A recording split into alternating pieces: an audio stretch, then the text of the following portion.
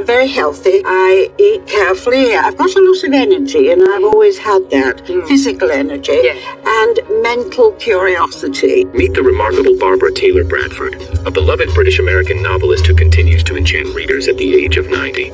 Born in 1933, she exudes a timeless radiance, always vibrant and polished, defying the years with grace. In 1979, she gifted the world with her iconic debut novel, A Woman of Substance, A woman of substance. Can you believe it's still selling? Amazing. How many copies has that sold? A Woman of Substance. At about 35 million. This was just the beginning of her awe-inspiring journey, as she has since penned an astounding 39 novels, each one a resounding bestseller in both England and the United States. With unwavering dedication, she maintains her writing routine, continuing to inspire readers worldwide. In 2020, she unveiled In the Lion's Den, Let's take the current book, In the Lion's Den. followed by A Man of Honor in 2021, testaments to her unwavering creativity and passion. A steadfast believer that age is just a number, Barbara embraces life with the spirit of a youthful heart. In her 70s, she famously proclaimed, What's a number? I feel 30 inside. Even at age 81, she declared with a twinkle in her eye that she feels 49, a testament to her unyielding zest for life. So, how does she maintain her enchanting peaches and cream appearance? Her secret lies not only in good genes but in conscientiously caring for herself. In this video, she reveals 5 secrets to staying youthful, along with her top 5 choice of foods and 3 she tries to limit. Self-care mindset. In her own words, it's true some of us don't wear as well as others but I work at it.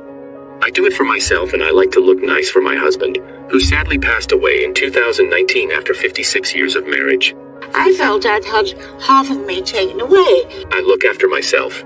I don't take pills other than vitamins. I look after my skin. I always take off my makeup at night. I use various creams on my face and I do have Botox in my forehead. I like to see people who are well groomed. Other people respond to you better if you are looking neat and well turned out.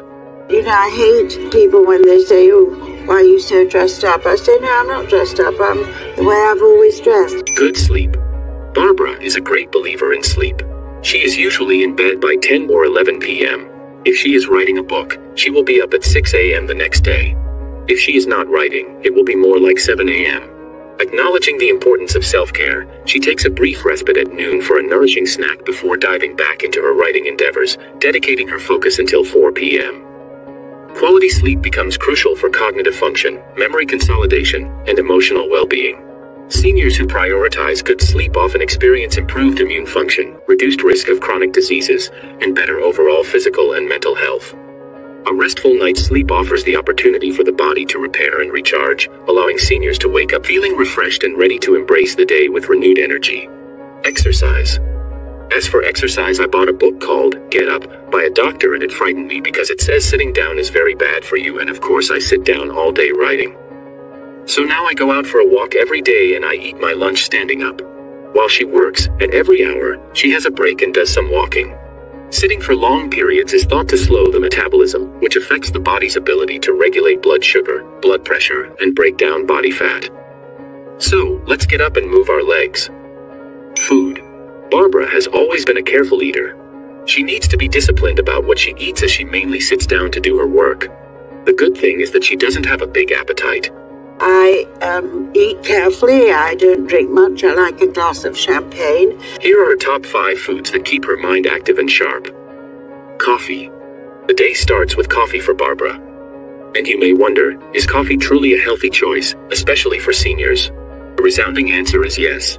Coffee is found to be a more potent source of antioxidants than green tea and cocoa. Antioxidants get rid of free radicals that damage the cells and may reduce risk to many diseases like cancer, heart disease, and macular degeneration.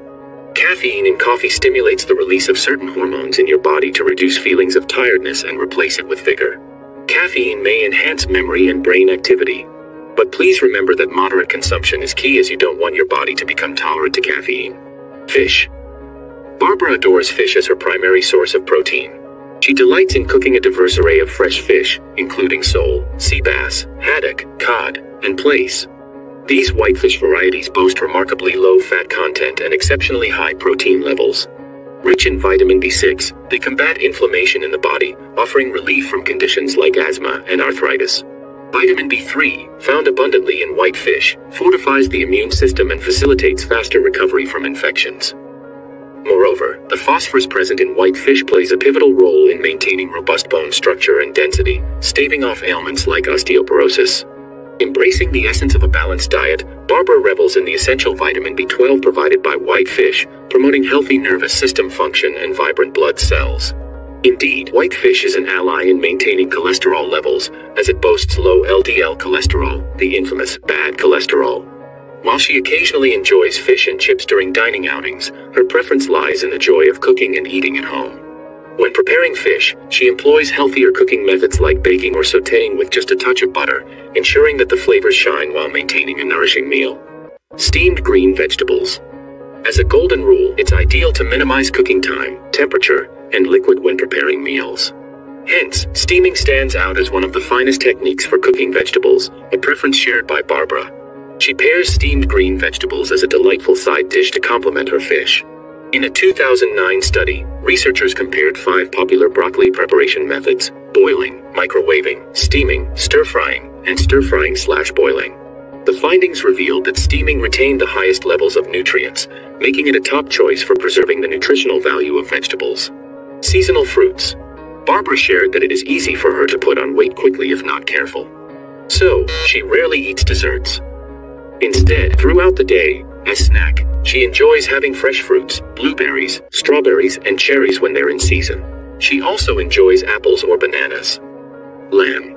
Despite being not too into red meat, there is one exception when it comes to wintertime. Barbara's mother was an excellent cook and she served her family with lamb stew in wintertime during the war. Honoring those precious moments, she lovingly replicates the same recipe in her own home. Liquidy, slow cooked things are good for her because, she's in the middle of a book, she has a habit of burning pans because she always wanders back to her office. She follows her mother's recipe using shoulder and neck cuts from the butcher, and rolls the meat in flour, then saute it to seal in the flavor. Due to its rich saturated fat, lamb may not be an everyday choice but this red meat contains essential minerals and vitamins such as iron, zinc, and vitamin B12. Vitamin B12 is important for blood formation and brain function. Zinc is essential for growth and formation of hormones such as insulin. Iron is crucial for red blood cell production, immune function, and energy production. To enhance her lamb stew, Barbara enriches it with chicken broth from the same butcher. By adding carrots, onion, and a bouquet garni, she elevates the nutritional and taste profile of the chicken broth. Did you know that chicken broth, not the powder one, is rich in a range of nutrients, including calcium and magnesium, as well as building blocks of cartilage and tendon? This golden liquid is a good hearty basis for a soup or stew. In winter, enjoying soup is a great way to stay warm, reduce calories, and maintain nutritional intake. Now, let's quickly talk about the food that she tries to avoid. First, we mentioned that she avoids desserts. By steering clear of sugary treats, she significantly reduces the risk of various health complications, including type 2 diabetes, cancer, cardiovascular disease, chronic inflammation, obesity, and premature aging. Second, she is mindful of salt consumption, opting to avoid it entirely when cooking at home. A high salt intake over time can raise blood pressure, which increases the risk of having a heart attack or stroke. However, blood pressure increases with age and so as you get older it is important to keep salt intake as low as possible to help ensure your blood pressure stays within a healthy range. Lastly, as she is a careful eater who understands that her body can gain weight very quickly, she minimizes the intake of carbs such as potatoes. While complex carbon in potatoes can be good for health, a healthy low-carb diet may help control weight which in turn can have a positive effect on the body. Apart from maintaining a healthy and balanced diet, Barbara diligently upholds healthy habits. Not inclined to indulge in excessive drinking, she occasionally savors a glass of champagne.